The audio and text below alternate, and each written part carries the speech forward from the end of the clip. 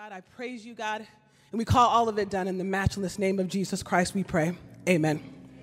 Amen. Amen. So, for those of you, this is your first time here. Uh, this whole year, we have been focusing on the ministry of the Holy Spirit. Um, and the last couple of weeks, there was a video kind of circulating on um, social media. And the part I saw was like a clip of a larger conversation. And in that clip, there were two people talking, and one of the pe- one of the persons were trying to convey to the other person that their behavior and how they move and shake in life probably was maladaptive, and that they probably should pick um, some different tools in order to how they're functioning. Now, uh, nobody likes to be told they're raggedy to their face, right? So the other person was super defensive um, and deflecting, and they were like, Well, you know, I do those things, but I'm doing well. I'm succeeding. In fact, it's my superpower, right? That's what the person said.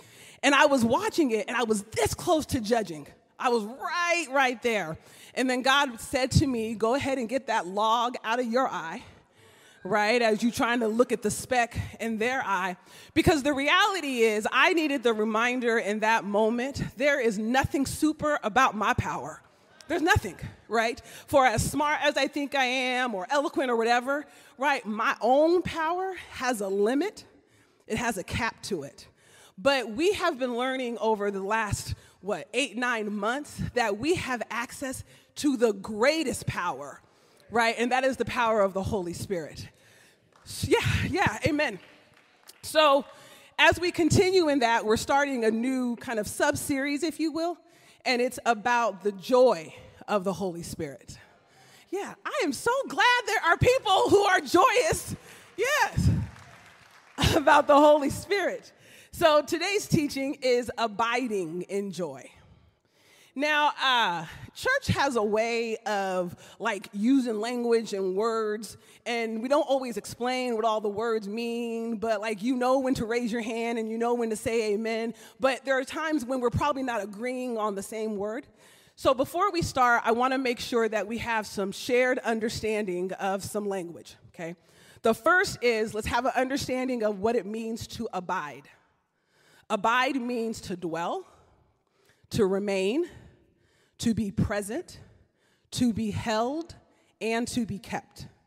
Okay? Abiding is much more than just hanging around somebody, right? Ab- abiding is more than proximity, right? I'm glad you all are here today. Praise God for that. But this is not abiding, right? This is gathering. Again, beneficial, but abiding is more about connection and not about proximity. The next definition I want to make sure that we all have an understanding of is the biblical definition of joy. Okay? The biblical definition of joy is a feeling of good pleasure and happiness that is dependent on who Jesus is rather than who we are or what's happening around us. I think sometimes we can confuse happiness and joy because at times they can look the same way, right? But happiness is contingent upon what's happening, right? So, you know, I can be happy at the event. I can be happy, you know, at the football game. I can be happy around a certain person. But when the event is over, when the person leaves, when my team loses, Pastor Howard, because, you know, I'm a Raider fan, so it happens a lot, right? Then my happiness, right? My happiness goes right? But joy is sustaining, it's everlasting. Why? Because again, it's not about what's, go- what's going on. You know, we're going to talk about it in a moment, but like, you know, we say things like, oh, you should be joyful in all things. But that should not suggest that all things cause you to rejoice, right? I'm not joyful that I lost my job or joyful that there was the illness. The joy comes from knowing that Jesus Christ is with me in that right? And what we're going to find out today is that joy it is a promise to us and that it's full. It's abundant. It's always there, okay? And then the last definition I want to make sure that we understand is fruit. Okay? So, fruit is the result or the evidence of what has been planted. Okay? So, if we look at Galatians 5 22 and 23, it talks about the fruit, singular, of the Spirit. What is that? It's the result of His presence within us. Now, I saw this actually recently. You'll, you'll often hear folks talk about the fruits of the Spirit. There's only one fruit, and the fruit is love. Okay, that's the fruit. Now, when you look at Galatians, you're going to see a comma after love, and it's going to have a list of things afterwards. That's not different fruit, right? That is a characteristic of the original fruit, what is love, right? So it reads the fruit of the Spirit, which is the result of his presence within us, is love, which is unselfish concern for others. Then the characteristics of love is joy, inner peace, patience, patience, right? And I like how the Amplified says patience is not just waiting, it's how you act when you're waiting, right? Whew, goodness. Um, kindness, goodness, faithfulness, gentleness, and self control. Okay, so those are all the components of the fruit, singular, of the Spirit. Okay, so with that understanding, let's go to the Word of God, and we're going to start at John chapter 15, uh, verses 1 through 11. We're going to break these up in like three chunks. And I'm reading from the Amplified. And it reads I am the true vine, say true vine, and my Father is the vine dresser. Every branch in me that does not bear fruit, he takes away. Say, take away. And every branch that continues to bear fruit, he repeatedly prunes so that it will bear more fruit, even richer and finer fruit. You are already clean because of the word which I have given you, the teachings which I have discussed with you. So remain or abide in me, and I will abide in you. Just as no branch can bear fruit by itself without remaining to the vine, neither can you bear fruit, producing evidence of your faith, unless you remain in me. So, I want to give you just a little bit of context about that. Um, you don't have to turn there, but if you, but in your, but when you can, look at Isaiah chapter five, verses one through seven. And there, the prophet Isaiah, he's giving um, an illustration. He's telling a story. And the story that the prophet Isaiah is telling that there was a gardener who wanted to plant a vineyard. And he uh, had expectations that the vineyard was going to produce great, wonderful grapes, okay? But in fact, the grapes that were produced, the Bible says, were wild grapes. Some say sour grapes, right? So it was a bad crop, is the point. And Isaiah gives that illustration and compares it to how God saw Israel. God's desire for Israel was that Israel would be good ground for people, people of Judah to produce. But instead, and we're going to find out why in a minute here, but instead, they did not produce good fruit. That is why in John 15, it makes the distinction, Jesus makes the distinction of the true vine right? He wants to make it very clear that we're not to abide in Israel, but we are to abide in Jesus, right? And the reason for that is we know that, and we saw this, you know, months ago in our teaching, that the folks of Israel, they were relying solely on the law. And what we know is that the law by itself cannot produce good fruit. Okay? So that is why it's so important that we recognize here that he is talking about the true vine. Okay? Now listen, we know tons, we can see it all around us. There are folks who are rooted to something, right? And they're producing something, right? But it's not good fruit, right? So, regardless of what we say, regardless of what labels we want to place on ourselves, the world is going to know who we are connected to by our fruit. Okay? Our fruit's always going to tell on us. And here's the thing Israel had proximity to God. They knew God, right? But they were not abiding. They were abiding, abiding in the laws, okay? So, and you're, you're, you're going to hear a running theme throughout today's teaching is that uh, the branch takes on the characteristic of the vine, right? The fruit is going to look like whatever tree it's coming from, okay?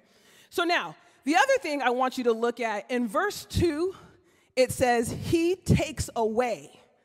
Now, I always thought that meant that if there were branches that were not producing fruit, right, they just got tossed to the side, right? We picked them up, we threw them away, right? But what I realized is, y'all, I have become an expert on everything vineyards, okay? I know all kind of stuff now about the growing of vineyards. So I want you to keep in mind that another translation for take away is in the Greek, it's lift up, okay? Keep that in mind. So here's what I learned about, vine- about grapevines. Grapevines, when they're growing and when they're healthy, there's gonna be vines that get really heavy and drag on the ground. And the reason why that's a problem is because if the vines are on the ground, the ones that are above it are blocking out the sun. And grapevines don't do well in the shadows, okay? But the other thing is that when a grapevine is on the floor, on the ground, it um, insects can get it, right? Mold, fungus, and ultimately that vine isn't going to produce fruit. But because the gardener wants the grapevines to produce fruit, they lift up those vines, right? And usually they put it on like a trellis that way, those vines get sun, those vines are away from insects, and then you don't have like rot and mold and all that type of stuff. Y'all, God wants us to produce good fruit. He does. but He's mindful of the fact that there's going to be times when in life we are dragging on the ground, right? We're caught in the shadows right? We're at the point of being um, um, devoured, right? We're at the point of rotting. And God knows that if He left us there, we're not gonna produce fruit, right? We need access. So, just like the grapevines need access to the sun, S U N, we need access to the sun, S O N, right? So then we can read that verse differently. We can now read it as says, Every branch in me that does not bear fruit, he lifts up. Right? And now, so how does God lift us up? How does he encourage us? How does he get us to a place back to where we're producing fruit? That's through his word. That's through his word, right? Because think about it. When you are in that shadow place, when you are low, right, then what happens? Despair comes in, frustration comes in right? And it, it, if we're not careful, that frustration will choke out the love that's growing in us. And that's what God wants to produce. So, this was helpful for me because I'm gonna say, I don't know that when I'm frustrated or sad or depressed, my first inclination is run to the word, but that's what the word does, right? It encourages us, it builds us up right? That is how God, who's the gardener in all of this, lifts us up. There's something else that is said in verse 2, and it talks about that pruning, okay? So, years ago, uh, the house I was renting had um, a rose bush, or a couple rose bushes in the front yard. My rent included a gardener, and he would come and he would cut back the rose bushes a little bit because where the rose bushes were, uh, if they over if they got overgrown, you weren't going to be able to come to the front door, right? So he would cut them back so that you could get to the door.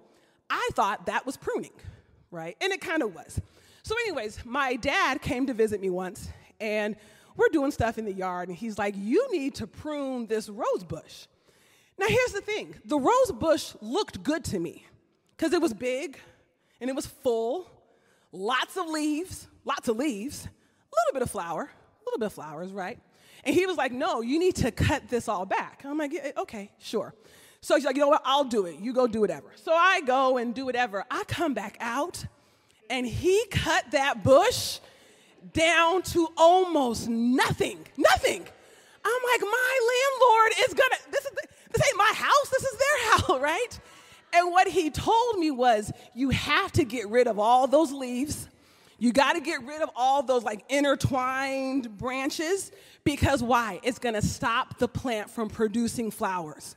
Here's the thing the plant looked healthy, the plant looked like it was producing. If you drove by, you wouldn't say anything about that bush, but the reality was it wasn't producing the fruit, flowers in that case, that it needed until it was pruned all the way back. Right? Can I give you another example about pruning? This is a personal testimony. Thank you very much. So, a couple weeks ago, I was, um, I am, uh, I'm helping, I'm planning this event and this project or whatever. So, I'm emailing with someone. I don't really know this person very well. Um, I've had some interaction with them. So, you know, I'm emailing. Thank God it was email, by the way. Just um, and so they respond. So we're going back and forth. And at one point, this person responded back to me, and I said, I was at my desk, and I said, I know he crazy. Well, actually, I'm in church, so I shouldn't lie. That's not what I said, but that's the clean version for all of y'all. He was talking to me cash crazy. I mean, crazy. And I'm like, listen, y'all, I try my best.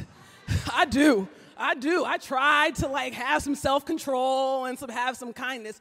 But I'm like, oh, he is crazy. So I had my good cussing out already typed. I was ready, and it was gonna be good. It was gonna be really good. So I'm doing all this, but because Holy Spirit is repeatedly pruning, he checked me so quick, and y'all, I hit delete, delete, delete, delete, delete, delete. I deleted the whole thing and responded with, like, okay, right, or whatever it is. And and when I was done, I, I talked to a friend of mine who knew all the players involved. And I said to her, and I know this is the Holy Spirit because this don't even sound like me. I'm like, you know what? I wanted to cuss him out because he deserved it. Okay? But Holy Spirit said, do not say that because it's going to damage your witness.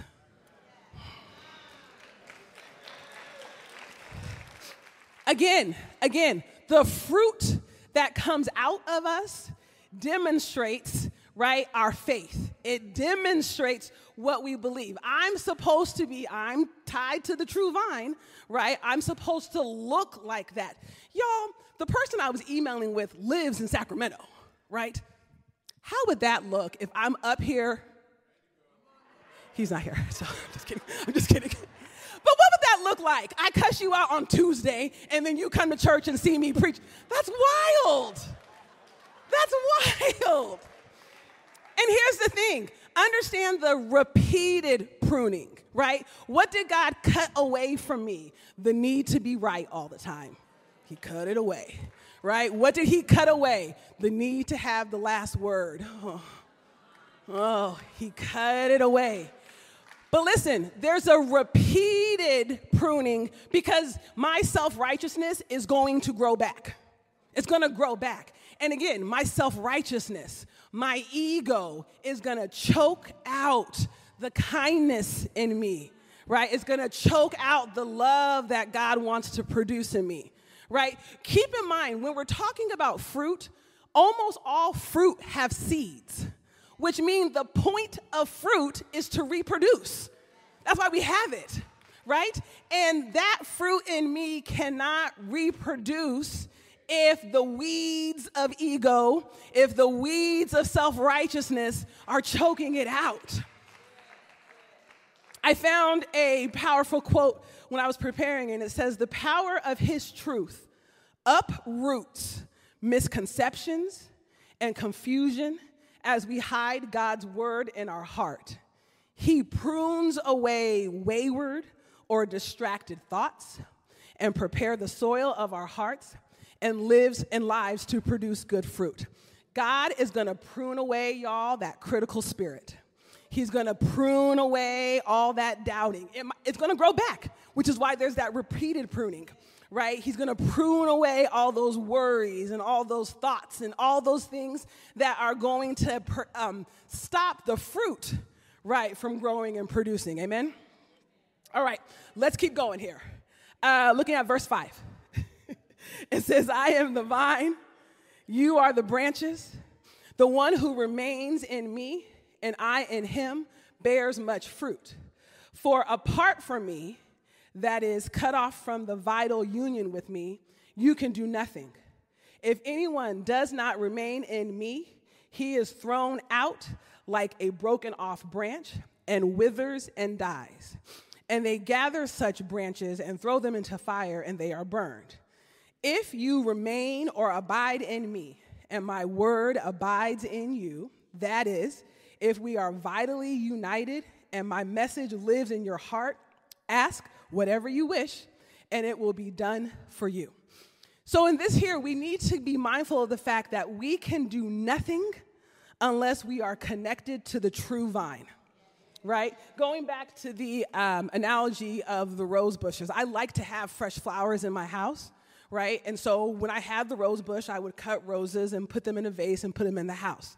And for as beautiful as those bouquets were, the moment I cut the flower off, the death process in that flower was starting, right? Because it can't survive unless it's connected to the branch or to the vine. Now, again, we do all these tricks to make our bouquets last longer, right? We put a little sugar in the water, put a coin in the water, put a little powder, whatever. And that's wonderful, but that just is delaying the inevitable. Removed from the bush, it's going to die. The same is true for us when we are disconnected, right? When we are disconnected from the true vine, we can do all kinds of tricks to sustain, right? We think we're doing it by ourselves, but eventually, right, there is death. I can't do anything unless I am connected uh, to that vine. And it's interesting because Jesus is talking to the disciples at a really crucial time.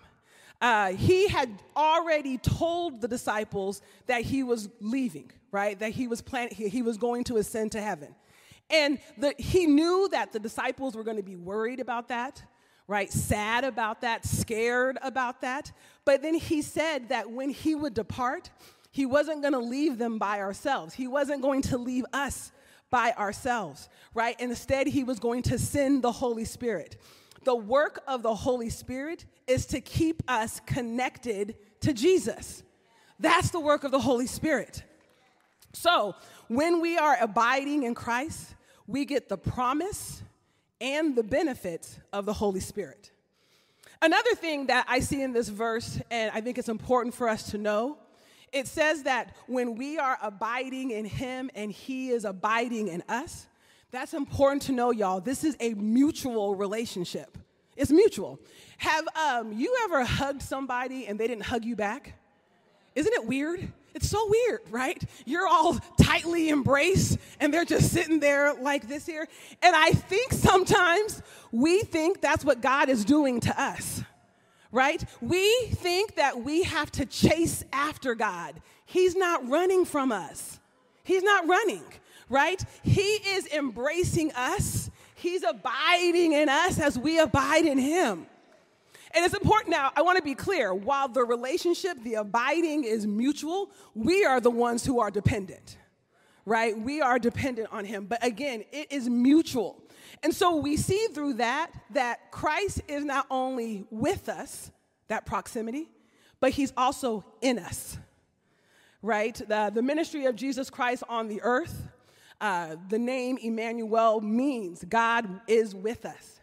And it emphasizes that when Jesus came to earth to be among the people, it, he did so um, to, to demonstrate that he was physically near us. He is right there with us.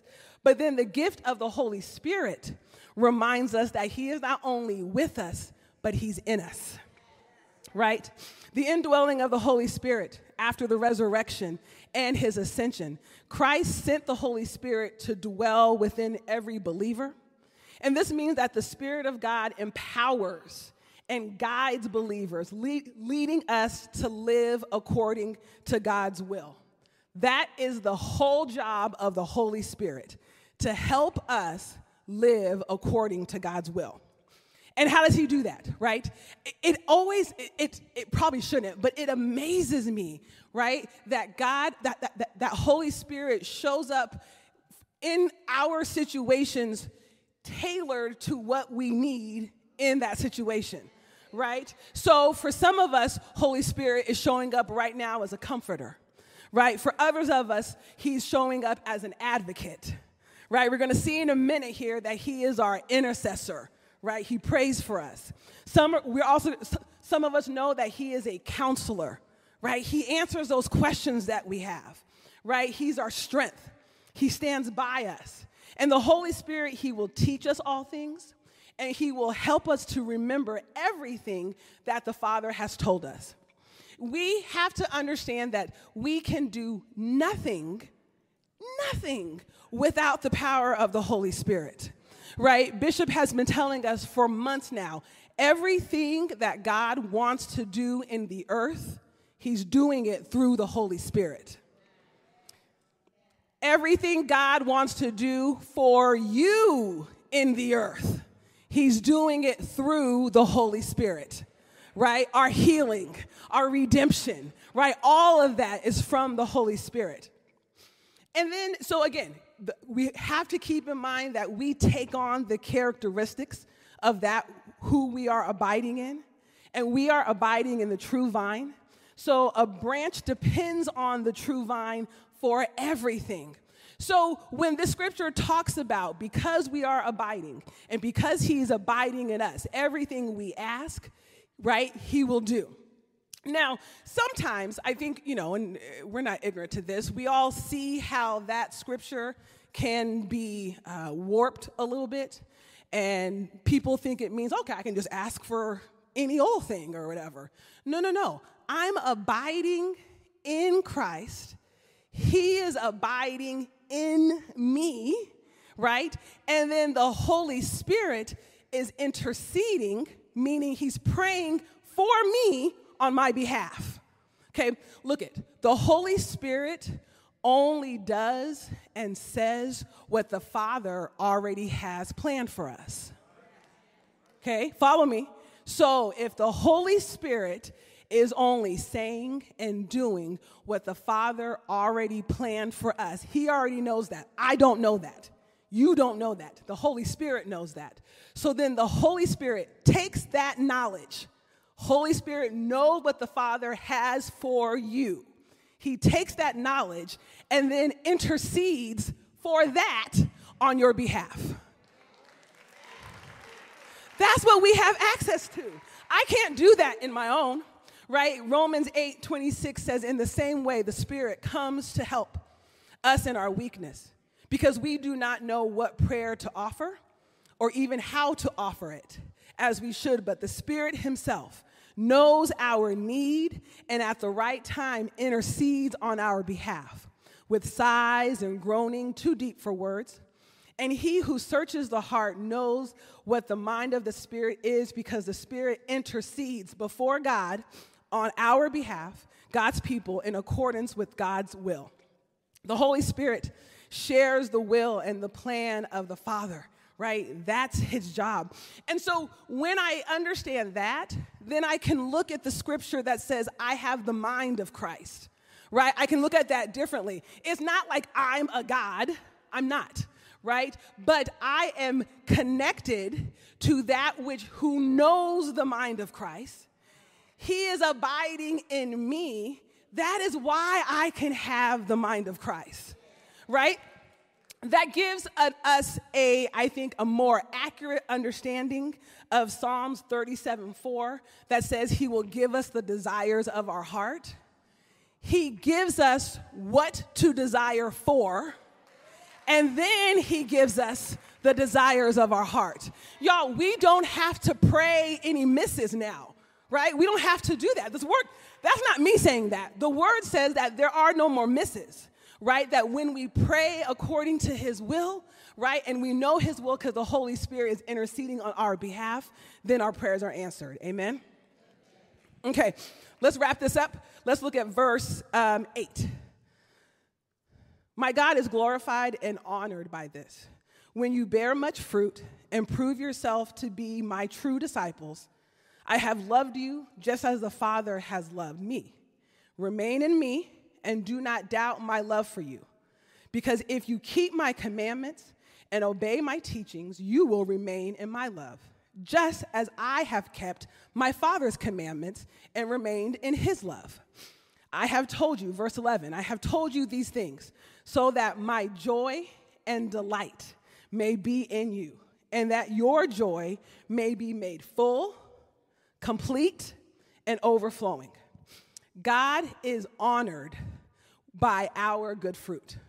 He's honored by that, right? Uh, yes, the good fruit is for us, right? The good fruit is for us to share with others, obviously, but also it's for the glory of God. And again, it's very interesting to me. Jesus here is telling the disciples about the joy that Jesus received from the Father. Y'all, the timing of this, Jesus knew that the cross was ahead of him. So even Jesus, in his trials, right, still had the joy of the Father as he was getting ready to go to the Garden of Gethsemane, as he was getting ready to go to Calvary's cross. How powerful and unique is God's joy that it still remained in Christ even in the time of such great trial and testing, right? And his desire and provision for all of us is that his joy, which is so different from that of the world should be our joy, right? It says that his joy might be made complete in all of us. Jesus has the joy um, of the Father, and we are connected to Jesus, which means we have the joy of the Father, right? Again, I started off by saying when we say that, that is not to suggest that we ha- that the trials bring rejoicing right? That would be silly, y'all. No one is suggesting that you should rejoice in the face of, you know, whatever health concern or losing your job. But the joy comes that in that we know that Jesus is right there with us. Now, here's the thing I will be honest with you, I don't always recognize Jesus at work in the trials I'm going through, right? I can get very caught up in the actual trial. What am I going to do? How is this or whatever? But y'all, we learned a couple of weeks ago that the Holy Spirit reveals Jesus Christ to us, right? So when we are in the trial and we cannot see Jesus, He's there, He's there. The Holy Spirit reveals Him to us right? So then I can have joy because I know I'm not going through this test by myself, right? I know that I am connected to the great healer. I know that I'm connected to the great comforter, right? That is where the joy comes. And again, regardless of the situation, that joy, it doesn't leave, right? It's not fleeting, it is always there. So, again, I want to go back to verse 11. I have told you these things so that my joy and delight may be in you, and that your joy may be made full and complete and overflowing. When we, y'all, we receive the fullness of joy when we are in God's presence, right? That's what the Word of God says, that in His presence is fullness of joy right? And so we have access to that full, we have access to a full reservoir of joy that we can always tap into. Always. And here's the thing it says joy full and complete. I want you to think of a glass or, you know, a pail or a container. If that container is full of joy, nothing else can fit in there. Right? When we have that fullness of joy, doubt can't fit in there because it's already full of joy. When we have the fullness of joy, right? Worry and all of that, it can't even fit inside of it, right? Um, and another, and so we want to make sure um, that we are mindful of the fact that our that the joy of the Lord it is sustaining, and it's always with us. I um, I I like um, I like words, right? I always tell folks like words mean things because folks just be using words all kind of willy-nilly, right? You just putting stuff in weird places. But like words actually have meaning, right? And so I always pay very close attention to the words that we see in scripture. So when I look at uh, Psalms 16:11, it says that weeping may, but joy will. Weeping may, but joy will. Listen, life, we all say you're saying life be lifing, right? And so whatever happens, but the weeping isn't the promise. The joy is the promise.